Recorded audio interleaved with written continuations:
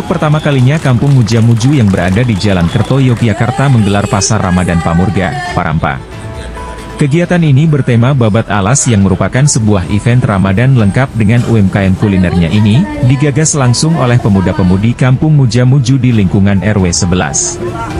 Kegiatan ini diresmikan langsung oleh penjabat Wali Kota Yogyakarta Singgih Raharjo didampingi, Mantri Pamengpraja Kemantren Umbul Harjo Rajuan Taufik, Lurah Kelurahan Muja Muju Ari Sukrisna, Ketua Panitia Aditya Oktavianto serta pihak-pihak terkait dengan pemotongan pita pada Jumat, 15 Maret 2024, di Jalan Kerto RW 11 Yogyakarta. Mengabar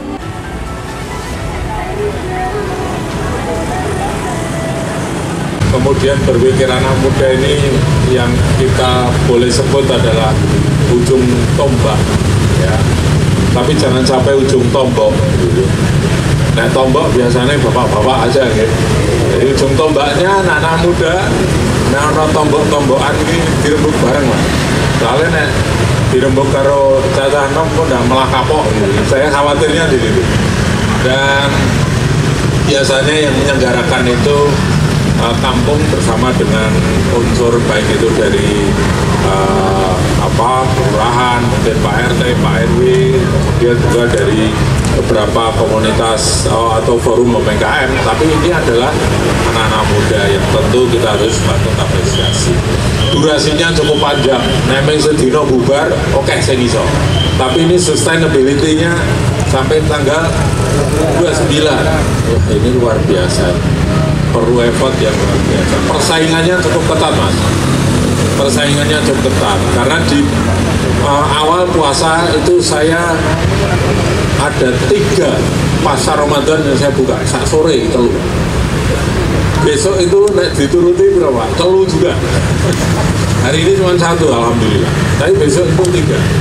Saya yang memilih berapa dua yang satunya Pak Menteri tadi saya sekali lagi saya ucapkan selamat dan semoga nanti uh, apa, kampung atau pasar Ramadan yang diselenggarakan di kampung Muja Muju nanti bisa laris, bisa uh, berkah. Harapannya Bu seperti apa Bu? Uh, untuk kesannya mungkin ini lebih uh, apa ya Pak ya kalau kesannya ya? kalau pesannya mungkin lagi ya banyak promonya juga ya agar rame ya. Ke depannya bisa untuk mengembangkan UMKM yang ada ya. Jadi ini buat uh, tempat uh, mereka untuk berjalan bagus berkembang ke depannya. Makasih ya sudah diberi tempat wadah di sini untuk tempatnya menurut ibu apakah sudah mencukupi atau sudah sudah cukup. Di uh, sudah lumayan cukup mungkin ini ya kalau untuk fasilitas lainnya mungkin lebih ditingkatkan ya kayak masalah air juga belum ada sama alhamdulillahnya dapat tenda ya makasih juga udah di support sponsor kali ya tendanya ini pertama kalinya ibu menjajakan jualannya atau gimana bu? Uh, untuk di lokasi sini ya baru pertama kali nyoba. Sebelum sebelumnya? Sebelumnya kami cuma ikut bazar-bazar di sekolah,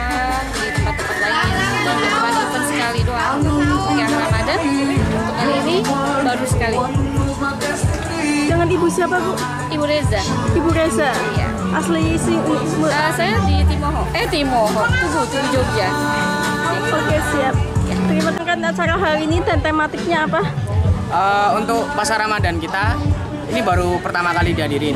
Jadi kita mengusung tema babat alas, yaitu membuka jalur baru untuk sesuatu yang lebih baik, Kak. Seperti itu.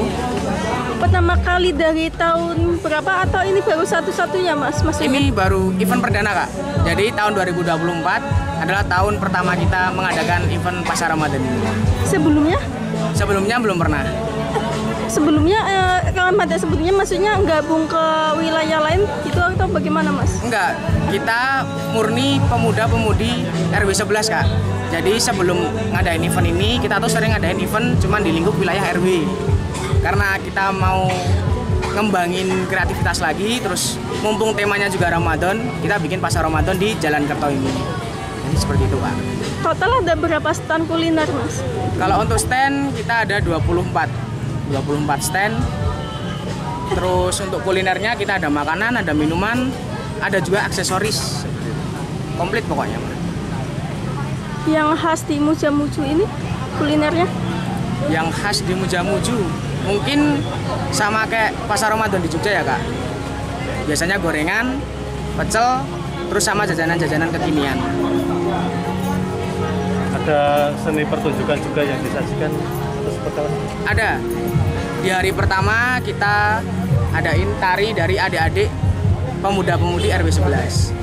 Terus di event kok di event. Di hari-hari selanjutnya nanti ada live musik dari pemuda RW 11, ada talk show juga. Pokoknya kita mengkaryakan bakat-bakat di RW 11 ini. Kalau 20 stand ini semua dari lingkungan Mujamuju semua atau Kalau untuk 20 stand, 23 24 stand ini kita sebar Kak. Jadi ada yang di kecamatan luar, ada yang di RW kita, ada yang di RW lain. Jadi untuk umum, oh, umum? semuanya untuk umum. Mungkin habis berapa mas untuk membuat pasar sore Ramadan ini Untuk pasar Anggarannya? Ramadan estimasi karena kita di proposal itu adalah event paralel Kak. Jadi sebelum pada pasar Ramadan kita ada mural, mural di seluruh wilayah RW 11 untuk menyambut Ramadan. Setelah itu acara utama kita adalah pasar Ramadan. Setelah pasar Ramadan kita ada acara pengajian di sini juga tanggal 28. Lalu ada acara halal bihalal untuk semua estimasi biayanya sekitar 46 juta Kak. 46 juta itu dari awal kegiatan sampai sekarang Iya. sam- eh, sampai besok selesai Ramadan maksudnya Ya, sampai halal bihalal kita, target kita dapat uang proposal 46 juta. Rekan dari kota Yogyakarta, Muhammad Hari Irawan untuk Jogja berkabar.